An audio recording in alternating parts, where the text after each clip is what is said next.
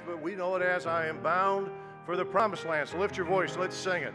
On Jordan's stormy banks I stand and cast a wishful eye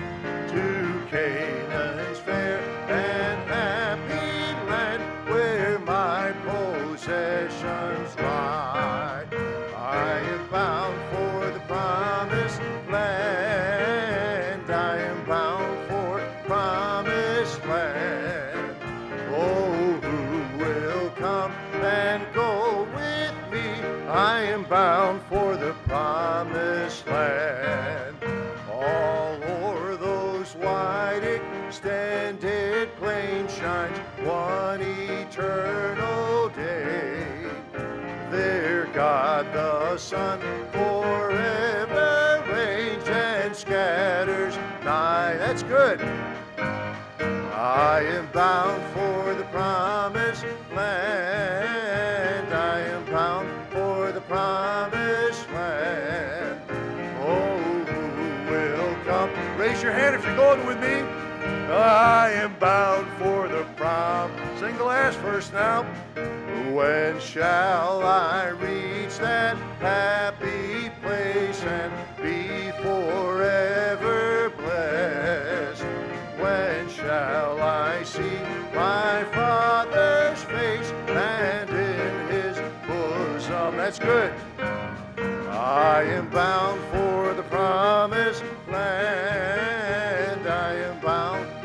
promised land.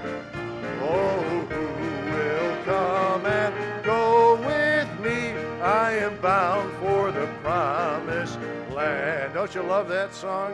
Good old song. Here's another one Victory in Jesus.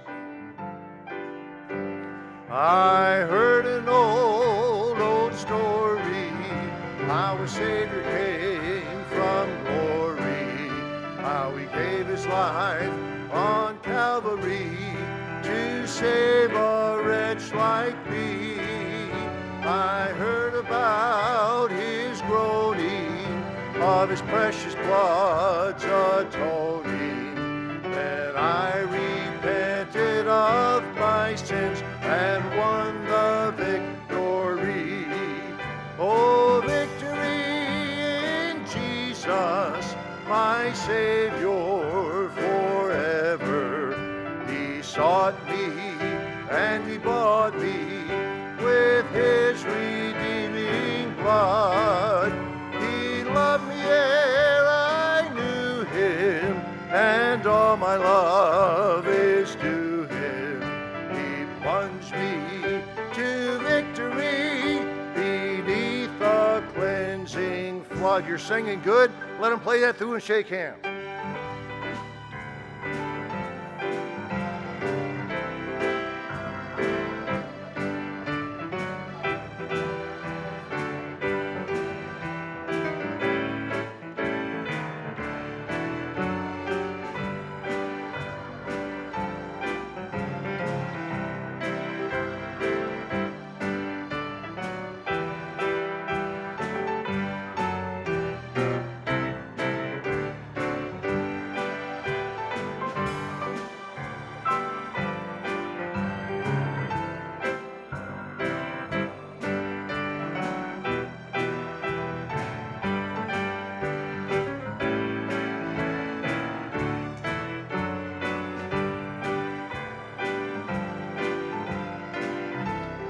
Right, when you get back, we're going to sing this last verse.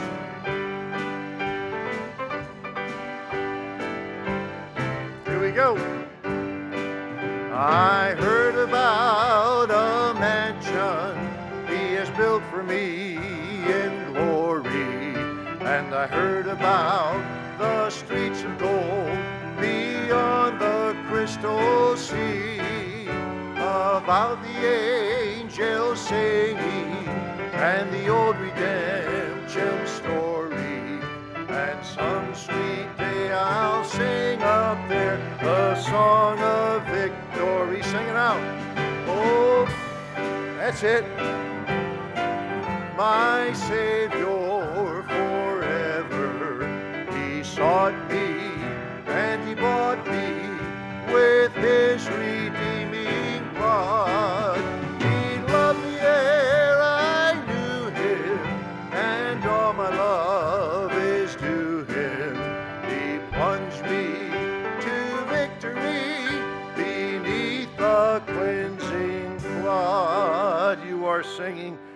Let's sing this one then before we go to the Lord in prayer. I love this song.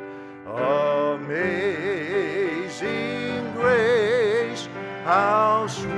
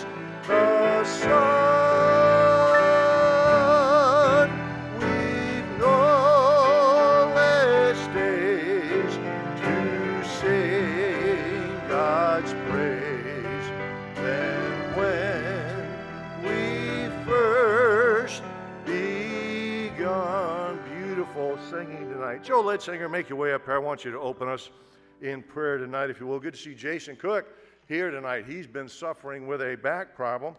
We had a kind of a deacons buildings and grounds meetings. I didn't expect to see Jason, and he came very gingerly down the steps. So uh, good to see him here. You pray for him. He's got that bad back. Uh, Margaret Primo, continue, if you will, to pray for Margaret. She should be getting out. Uh, we weren't sure if she's out yet or not. We did not. She's out. Fantastic. All right. Well, that's good news. Pray for Brother Jerry. Again, he uh, uh, emailed or texted me this afternoon and said a one-armed song leader guy looked pretty good, and uh, but we need him back on his feet so he can get up here doing this. You pray for Brother Jerry, if you will. But Joe, open us in prayer, if you would tonight, please. Father, Lord, we do thank you for the honor and the privilege to come to your house tonight to worship you, Lord. This is your house. We recognize that. We know that.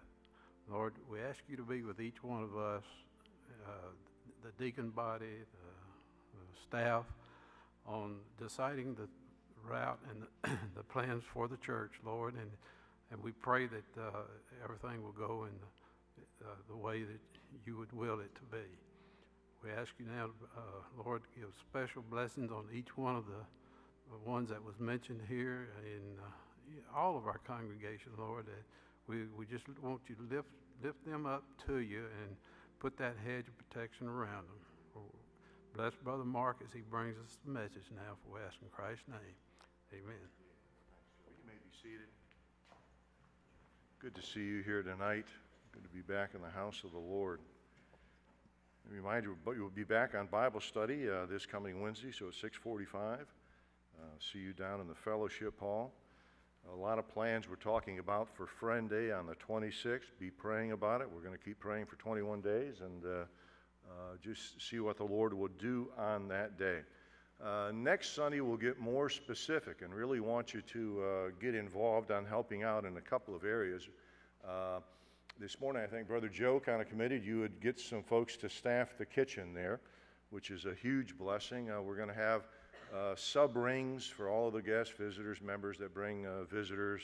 Those large, wonderful sheet cakes uh, we get uh, at uh, Wednesday night, sub nights, soft drinks, chips, all those things. We need some people down there in the kitchen to make sure folks, uh, if they need anything, could help. So Joe's already said the teens could do that, and that is a huge blessing. Need some help with parking. Brother Joe Leadsinger's already had a few folks tell Joe they would help him out. But if you would like to help with parking, see Joe if you will. Uh, we really would like, and you'll hear more about this next Sunday, but uh, uh, for us members that for whatever reason, usually on Sunday you may need to drive two cars, if you could maybe on the 26th come in one car, uh, that would be extremely helpful. Also, for younger people, and I'm throwing myself in that category, if we can kind of park in the back and our parking guys will kind of let us know where to park so we can leave as much space available for our senior folks and our visitors. And if uh, we can get some signs made up between now and then, we'll actually have uh, parking guys with some signs pointing visitors where they could park. But if you could help out Brother Joe, if you could see him, then uh, Brother Bill Leach, who kind of uh, runs and manages our greeters out there, if you'd like to help with a greeter, with those that are out there with him, with, uh, with Carson and Kim and Howard and others, see Brother Bill, and he will let you know kind of what to do and, and kind of help out because we want to make sure that every visitor that's here on, uh, on Sunday, uh, gets a packet of information. We get some information on them so we could follow up with them.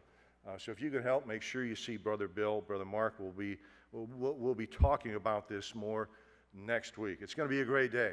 It really is. And uh, tell you, as this church is praying and looking forward to this, I'm just, uh, I can't wait to see what the Lord is going to do uh, on the 26th. And I think it's going to be a pivotal day in the growth and the life of our church. Uh, so that will be uh, what's going on. Then we got Mother's Day, already planning for that in May, and a lot of other things uh, taking place. Uh, seemed like there was one more thing. Oh, business meeting at the end of the month. Um, I met with the deacons and then the men that we'd asked to help serve on Buildings and Grounds Committee uh, before the service tonight. That's why I'm so hot. Running back and forth. Told Mark, help me off with this coat here. I need to get out of this thing. I'm burning up. Uh, you want to be here at the business meeting, if you will, at the end of the month, to hear what's going on, what the Lord is doing. But we've got some, uh, some things coming up, which I think is going to be exciting in the life of the church. And uh, that is the expansion of the road and what's going to be happening with the configuration of our property here in the parking lot and all those sorts of things. And we were talking about our gymnasium, and uh, uh, we've been, I've been working with our insurance carrier for a couple of weeks and uh, trying to get a settlement on the water damage that was taking place down there. We really want to do and get that fixed up nice and, and get that done. And a lot of things going on. So if you be here, if you're normally not here on a Wednesday night, you should be. Uh, but uh, if you can be there for that business meeting the last Wednesday of this month, you need to come and, uh, and uh, hear and see what the Lord's doing and see how you can help.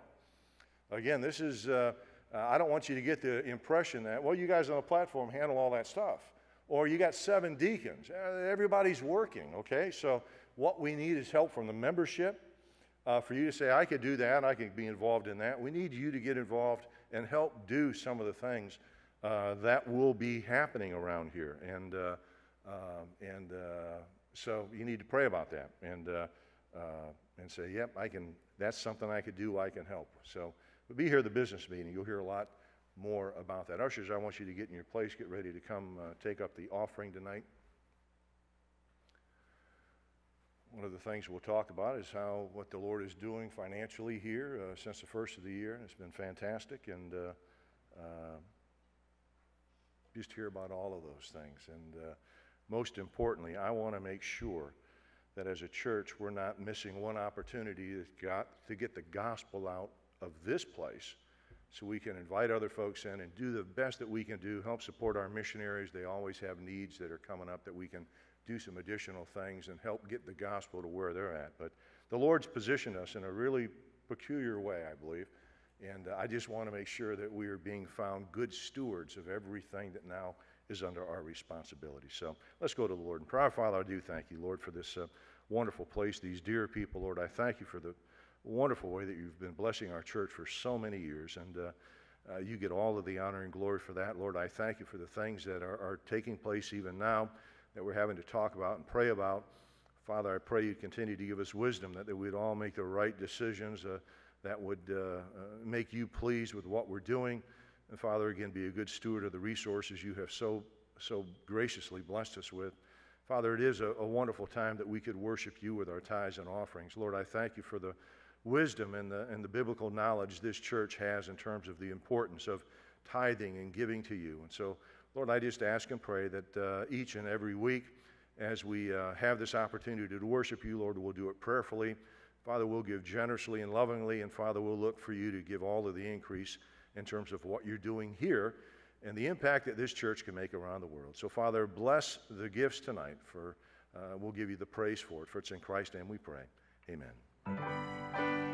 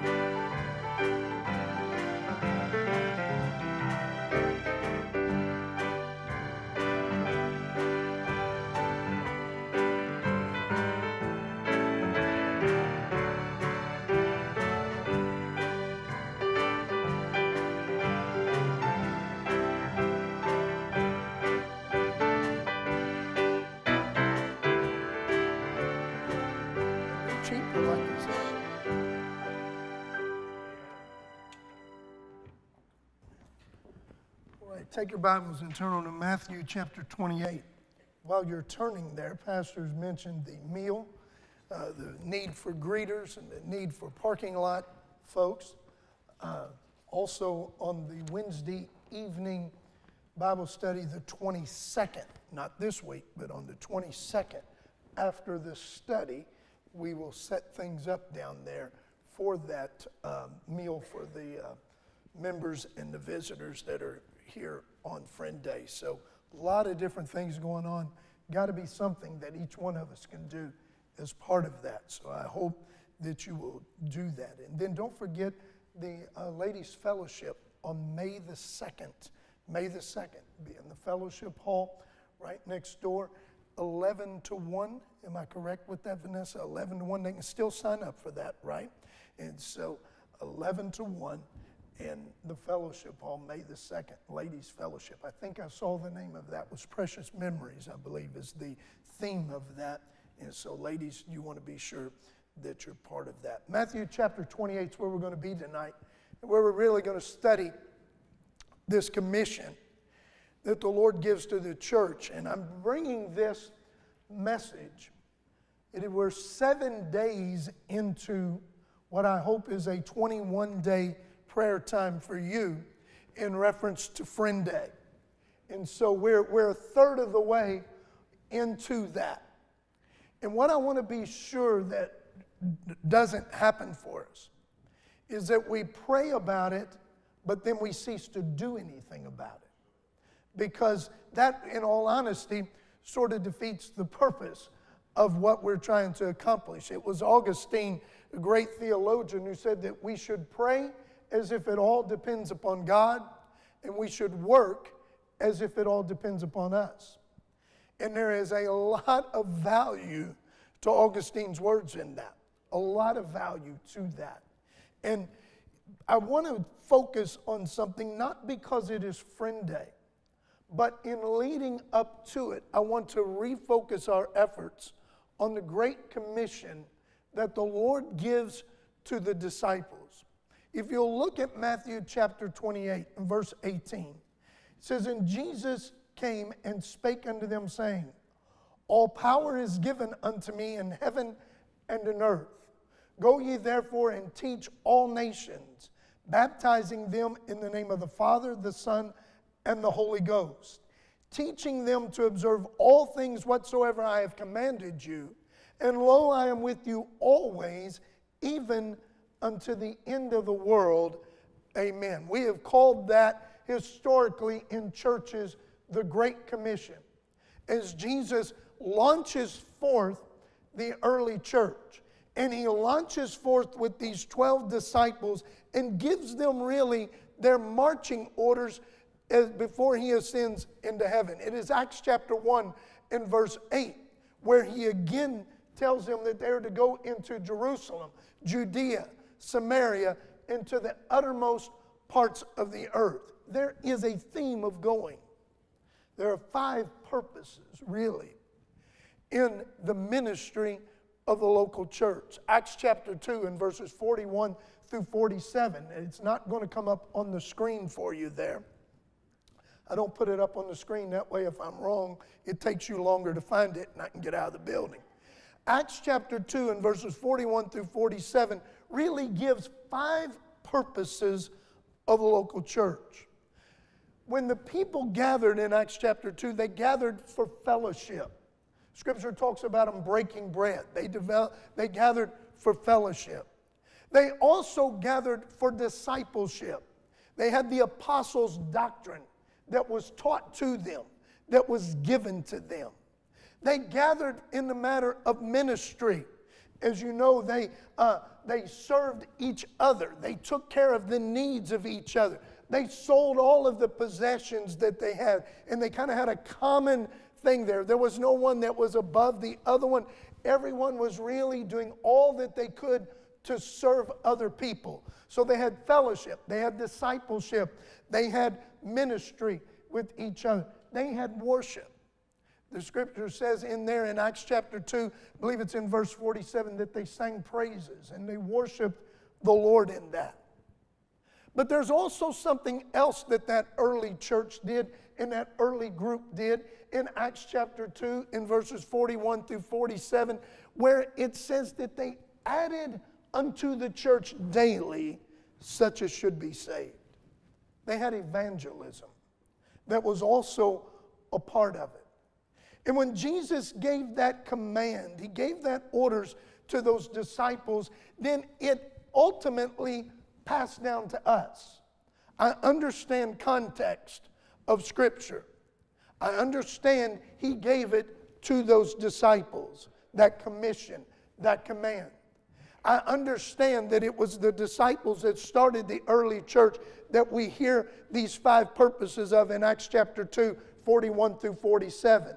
But ultimately, and you really talked about it this morning at the invitation time, at the close of it, when you talked about how that early church then went to England and ultimately to Flat Rock, and ultimately it had an, an impact in your salvation.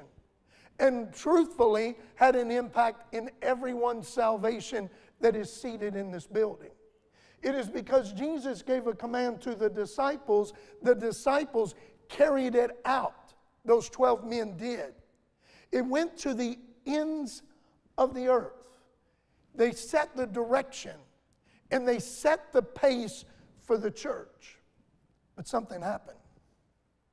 Something happened because that part of the purposes of the church, something has happened to evangelism. It has kind of been discounted or discarded. Now, listen to me. You may think I'm wrong, but hang on to this. 95%, 95% of Christian people have never won another person to Jesus Christ. 95%. 80% have no intention or no desire to witness. 2% of people are actively, of Christians, are actively involved in evangelism. That's amazing. We are excellent at fellowshipping. We are, and, and, and listen, when I say that, I'm not just talking about eating. We're good at that too, okay? But e- eating is, is not the only thing. Fellowship is anything that focuses our attention and centers us around the person of Jesus Christ. It doesn't have to be uh, food involved, although that's certainly fine if we can gather and have a meal and, and have in common Jesus Christ. We are excellent, I believe, as churches in the world today when it comes to the matter of discipleship. I think we're very good at teaching the scriptures. I think, quite honestly, as churches, and I think particularly when I think of Yellow River, we are excellent when it comes to the matter of ministry. If there is a need in this body, it is going to be met by the members of this body. Where you guys will do whatever it takes in that effort. When it comes to the matter of worship, there are praises, there are prayers offered up, there are words of encouragement about what God is doing in lives. But I do believe that we as a church fall in line with really the Christian culture of the day. And that is, we've got those four purposes down very well, but I think we've kind of lost the thought of evangelism. And that's why I think Friend Day is so valuable to us. I'm not picking at us. I think, I think I could go about anywhere and preach this same message and be fairly much on target. Christianity has become an inward religion. What is in it for me? How, will, how does it help my family? How does it meet my needs? How, what does the church do to meet my needs? What's the church got for my kids? What does the church have for my family? And we've missed one of the five purposes of the church. We, we've got a hole out of our pie, and that is the matter of evangelism, And I've thought about it. I've thought about it intently since Pastor challenged us for the 21 days. He actually challenged us two weeks ago. Where really, if you started on that day, you're 14 days in to what would be 28 days. He challenged us, if you remember, the week before Easter, when he laid out the plan for Friend Day. And so, as we're praying about that, keep in mind this I do not believe that in any way, any shape, or any form, that Satan is truly bothered if we fellowship. I don't think it bothers him that we fellowship. Randy Patton is going to heaven. Satan cannot change that. I am going to heaven. Satan cannot change that. If the two of us fellowship within the body of Christ, it's really, as my mom would say, no skin off his nose. Okay, and I'm not sure what that means, but she's going to be here Mother's Day. You can ask her. Maybe then we can all understand that together. Okay? I don't think that Satan is truly bothered if we sit down in discipleship fashion and learn the Word of God together. We're already going to heaven. We're going there. We can just go there with more knowledge than we would have had. Doesn't hurt him. Ministry that we do internally with each other. I don't know that that really becomes a struggle to him. But when it comes to the matter of us bringing people from the outside and going to highways and hedges and compelling them to come in and to come under the sound of the gospel, now all of a sudden, his plan is thwarted. As long as we live for each other, and as long as we minister only to one another, and we live for all of us that are already inside these four walls, we really are not a threat to Satan whatsoever. Have you uh, think about that? What I'm saying. There's no, there's no threat to that. You're going to heaven already. Pastor said last week, and he was so right.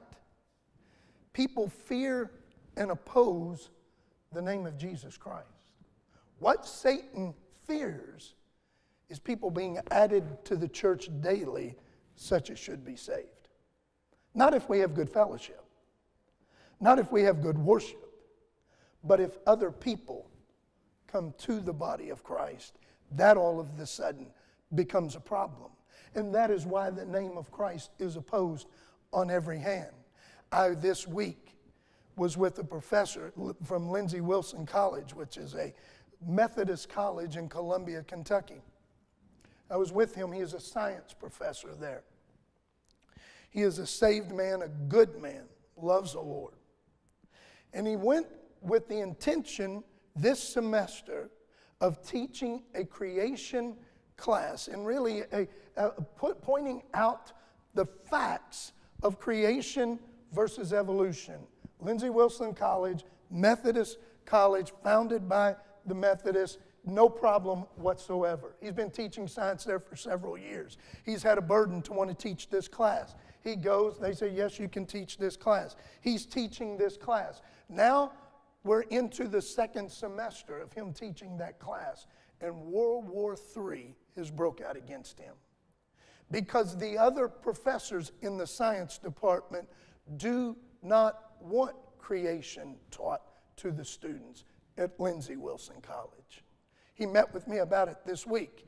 It is happening right now. This, this, it, all, why, why, you say, why would they care? Why would they care? Because Satan does what he can to oppose the name of Jesus Christ. As long as those students in that university were fellowshipping, it's no problem. If they were discipling, it's no problem. But when they begin to want to evangelize, then all of the sudden that's when the battle begins. There's obstacles that are sharing our, to sharing our faith in this day. There's no doubt about it. But I want us to understand something. The command still stands regardless of the obstacles. The fact that 95% of the people that claim the name of Christ have never won a person to Christ, that is a problem. Because ultimately, with, with that kind of, of reproduction rate, ultimately, Christianity dies out. Ultimately, it does, no matter how you look at it in any way, shape, or form. And here's the biggest concern that I have about it you and I are saved, we are safe, we are secure, and that's the end of it. As long as I'm safe, as long as Kathy's safe, Chris and Austin are safe, that's good. Allie's safe, we're happy. Olivia is safe, that's wonderful. Lacey, then we're good. As long as my family is good, then that's it. Then I'll take my family into a church where we'll practice the other four purposes of the church and we won't have to worry about anything else. We'll be insulated from the world. And the Great Commission, I'm fearful in churches today, has become the Great Omission. We've just stopped it. We've just put the brakes on it. And so we say, There's friend day. I'm going to pray, preacher. I'm going to pray. I'm going to go over and above. You asked for 21 days. I started seven days early. Surely that's a bonus, Jesus. I've got, I got 28 days in. And you know what? That's wonderful. But if we didn't invite a lost person under the sound of the gospel, what did we accomplish? What did we accomplish? See, we have a command. Number one, I'm going to give you four things tonight, best that I can. It is a command. Look at verse 19 of that. He says, Go. Go is an action. You cannot sit still and go at the same time. I went to a farm this last week. Somebody asked me this morning, what, what did you do when you did you just sit? I said, Are you kidding? No way. Austin and I went in the woods. We built a four by eight clubhouse, is what Lacey calls it. Austin calls it a shooting house. There'll probably be more clubbing than there will be shooting out of there. But anyway, we built, I mean, we worked like dogs out there the whole time. I can't sit still. There's just action that's got to be done. And Jesus gives an action. He says, go.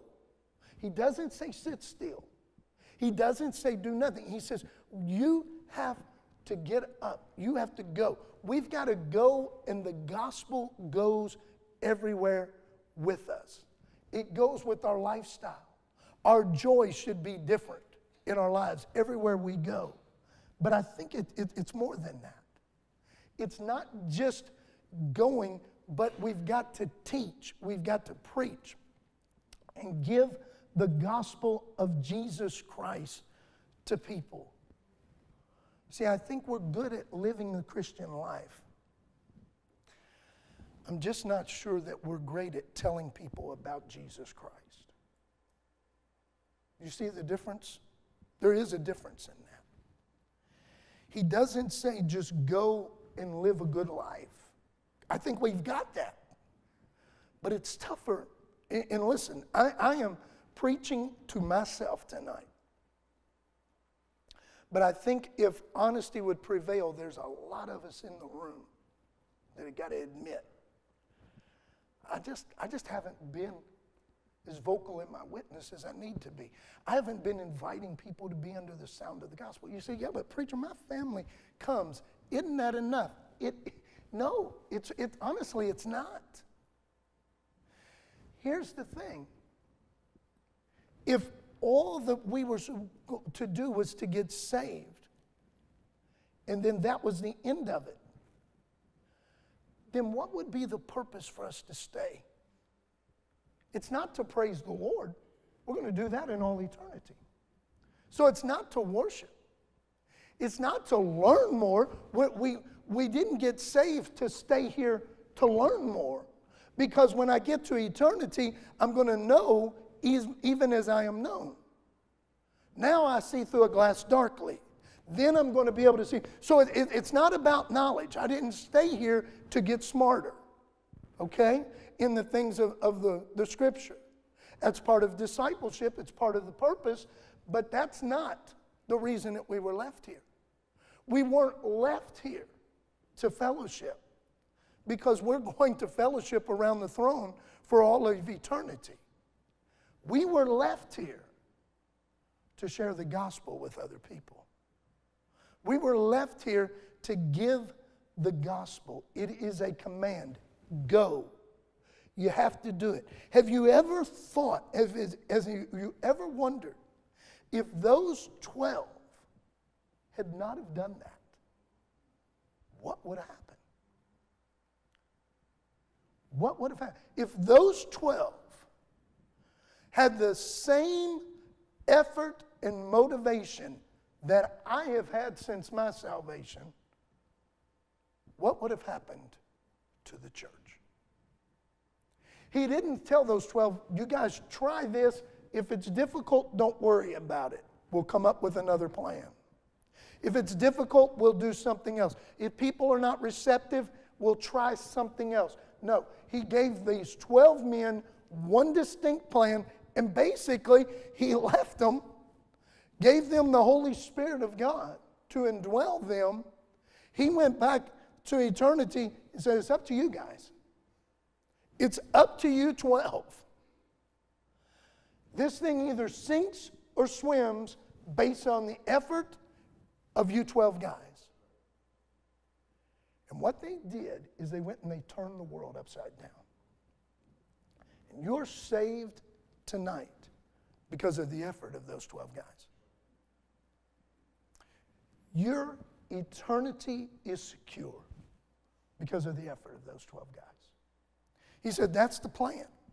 There is no other plan. So we've got the command, and the message is clear. Look at verse 20 teaching them. Teaching them to observe all things whatsoever I have commanded you. So, what do they tell? There's no mystery. They are to tell them, tell people what Jesus came to do. The scripture is very clear what he came to do. He came to give his life a ransom for many. He came to seek and to save that which was lost. The, the message is clear. Now, the methods, really not so specific, to be quite honest with you. He doesn't say you must do it this way or you must do it that way. He doesn't give them specific methods. He doesn't say you've got to have a friend day, but he does say go to the highways and hedges and compel them to come in that my house may be filled. He does say that. So there is a specific command and a specific message, not a specific method. The message is very clear men are sinners, that there's no heaven without a Savior. Jesus came, I taught it in Sunday school this morning, to reconcile that difference, to put these two things back together again. And you must accept Jesus Christ. It's clear. You say, well, I think everybody's heard that. I doubt that. And just because they've heard it once and they didn't respond, does that then mean we're no longer accountable or responsible? I would venture to say, and I certainly could be wrong, but I would venture to say that there's very few people in the room that the first time you heard the gospel responded to it. There may be some. But I'd venture to say that there's some there is not. Probably what happened to most of us, most of us, was that we were raised in families where mom, dad attended church and they had you in church a large percentage of your life and you came to a saving knowledge of Jesus Christ through efforts of that really because your parents had you in church. That's probably what happened to most of us. Certainly, there's going to be exceptions to that rule. That's fantastic for those of us who were born into Christian homes. But let me tell you something. you did nothing special to deserve to be born in a Christian home. It just came out that way. You're an extremely blessed individual if that's the case, but you're blessed not because of anything you did. I don't think that it, it's acceptable at all for us to, in essence, punish those who were not born into Christian homes. But we have a responsibility. Here's the plan it, it's clear, the message is clear for, uh, for you, for me to go and to give that story. 1 Corinthians chapter 15. I don't know that I gave it to the guys, but if you would turn with me to 1 Corinthians chapter 15, you're going to see really what we're to say. You put your own words around it, but this is the message. Verse 3 of 1 Corinthians chapter 15 says, For I delivered unto you first of all that which I also received. That is, that is Paul saying, I am giving to you what somebody gave to me. What on that road to Damascus I got, I am now giving it to you.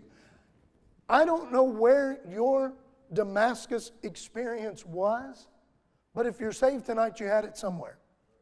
Somebody shared it with you. For me, my parents had me in church from the day literally that I was born. From, that, from the time that I was old enough to get home from the hospital, I was in church. That's all I know. I don't know any other life apart from that. I accepted Jesus Christ as my Savior that I know for sure when I was 13 years of age. I was younger than that. I made a profession of faith, very unsettled by it in my teenage years. And at 13, I nailed it down. I know I am going to heaven. Why? Because, quite honestly, I was born in a Christian home and my parents had me in church all the time and I heard the gospel. But what I've received, like Paul, that I've got a responsibility to give that. And here's what he received how that Christ died for our sins according to the scriptures and that he was buried and that he rose again the third day according to the scriptures. If you want a small encaps- uh, encapsulation, that's not the right word, somebody fill it in the blank, uh, of the gospel, 1 Corinthians 15 3 and 4, there it is. Christ died for your sins, he rose again, and that is the gospel. And because of that, I am saved. Because of that, you are saved. But also, there is a world of lost people. They've not heard that. 95% of us, if statistics bear true, have not told anybody about that. We've not done anything, we've not won anyone to Christ. You say, but I'm saved, preacher. What? Great. But what about the lost? And you would have been. excuse me, you would have been, but somebody told you. Somebody, those parents brought you, or somebody knocked on that door, or somebody invited you to church. Somebody took the time to share that gospel message with you. And because of that, today you're saved. And we're great fellowshippers. We're good at discipleship. We're great with worship. And man, do we minister if there's a need. But what about evangelism? What happened to it? It's the only one I believe Satan shudders at. What happened to it? Number three, look at the mission. Verse 19, back in Matthew 28 again. Verse 19 says, Go ye therefore and teach all nations, every nation why every nation? Because there's not one person that doesn't need Jesus Christ. Those 12 guys were to get it to all nations. You talk about a mammoth task. We're asking, we're asking that we pray for 21 days and invite one person. These guys had to go tell every nation. They had it rough. They had it rough. But I sure am thankful they did their job. I sure am thankful they did their job. He said, Go. We may never visit a foreign country, but missions are everywhere. Missions are next door. Missions are at the worker next to us. We've all got somebody we can invite. Somebody we can invite. Listen, what happened? What happened? Romans 1:16, Paul said this. He says, "For I am not ashamed of the gospel of Christ." He said, "It's a power of God to salvation to everyone that believeth, to the Jew first, but also to the Greek." He said, "I'm not ashamed of it." What happened to us in Christianity that we got ashamed of the gospel? It's almost like we want to be saved, we just don't want anyone to know it. I want to be saved, and I'm going to come to church and I'm going to worship, but I'm leaving it all right here when I walk out. And next Sunday, when I come back in, I'm going to pick it back up. But here's the deal all of us in here believe like you do. We all believe the same for the most part. Now, maybe there's someone here tonight that is not saved, but but you understand what I'm saying. We, we all got it. What, what happened to us that we got ashamed to tell anybody else about it? Ashamed. You say, I'm not, I'm not. I, I think, I think we are. Listen to me. I don't think we're ashamed of church. Because church has become a neat thing in this culture we live in today. Church is neat. People want to go to church. That's good. Want to be affiliated with a church. You, that, that's good. That'll get you votes. That'll, that'll do everything for you. Church is good. Just don't tell anybody they're lost because that caused trouble. That's where they get mad. That's where you cross the line. Let me tell you something. You think, you, I'm not trying to be politically correct, I'm trying to be honest with this tonight. Where does the idea come from that telling people they're lost is embarrassing and offensive? Do you think that comes from the Lord? We have swallowed, as a Christian culture, we have swallowed the line from Satan because he doesn't care if we do the other things. It's okay. Fellowship forever. It's fine. You're going to, you're saved, go ahead and worship. That's fine. Just don't tell anybody else about Jesus. And so we have become so engrossed in Christianity in the other four purposes, we've just left evangelism. Because after all, that hurts us, that hurts people. And we have gotten to the place that the church is living for the church. And we've quit going to preach the gospel, to tell all nations, baptizing them in the name of the Father, the Son, and the Holy Ghost. And then lastly, I'm finished. He's with us. He's with us. Look at it in verse 20. Teaching them to observe all things whatsoever I've commanded you. And lo, I am with you always even into the end of the world. Amen. Now think about that. Why would he have to tell those guys that? Why would he have to tell those 12 guys, go do this, and fellas, I'm with you? I'm with you. He had to tell them that because he knew they would be hesitant. He knew there would be resistance. You think you and I have resistance. We have nothing compared to what these guys had. We don't have resistance compared to them. And he knew there would be those people that would be hostile towards them, that would slander them. And he says, Guys, I'll be with you. And he tells me and you, I'll be with you. And you shall receive power. You shall receive power.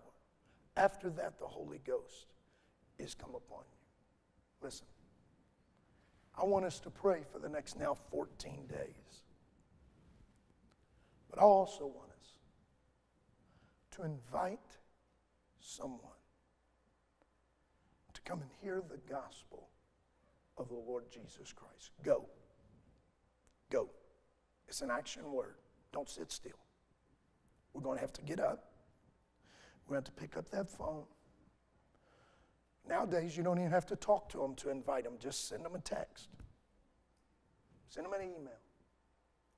Invite them to come and hear, You say, I, I would be embarrassed. I wouldn't know what to say. That's why Friend Day is perfect. Because you get them here, and they're going to hear the gospel. They're going to hear it. You don't have to go through the plan of salvation. If you want to, fantastic. But we're not even asking in this scenario to do that. Just invite them to be here and hear the gospel. Because here's the thing if we say, and we are saying, we need guys to help park cars, we'll get, we'll get hands raised everywhere. Am I right? We need people to help with the meal. I got that. I got that. We need greeters. We'll get that. And that's wonderful. But all of us need to be inviters to bring someone to hear the gospel of the Lord Jesus Christ. What happened to evangelism? It's the only one. Satan really gets nervous if we do. The other four purposes, have at it. Lord, I pray you would help all of us, all of us, every one of us in this room, myself at the very top of the list, to have a burden for people to come to a saving knowledge of Jesus Christ. In Jesus' name. Amen. You can stand right there if you would.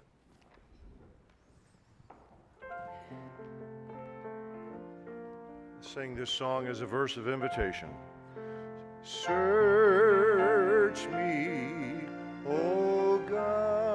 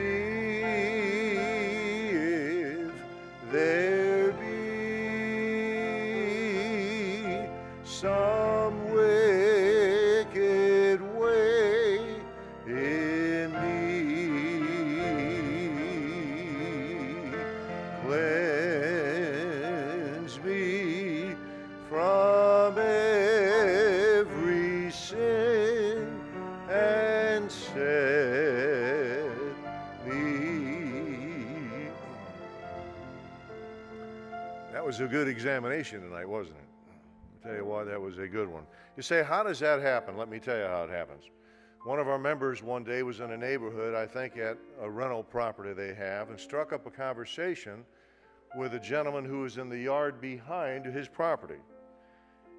And he just started talking to him, Do you go to church? Well, he, so invited him here. And he came. And that Sunday morning, he stood back there and he said, Preacher, I got a lot of questions for you. And I said, We'll get together and talk. Well, set him up and he talked to Mark. And you led him to the Lord right up there, didn't you? Billy Ritchie. Because Lamar invited him to church. That's really all we're talking about doing. We don't have the ability to save anyone. You've heard me say that. If we did, man, we'd be out there flagging down cars. Uh, we'd be doing everything we can, right? But we can't. The Holy Spirit of God touches and convicts heart when the gospel is giving, and then they're confronted with a choice. And that's what happened. Lamar ran into Billy Ritchie one day and said, Why don't you come to church? Billy came. Boy, the Lord got a hold of his heart, and he had a lot of questions, and he got the answer.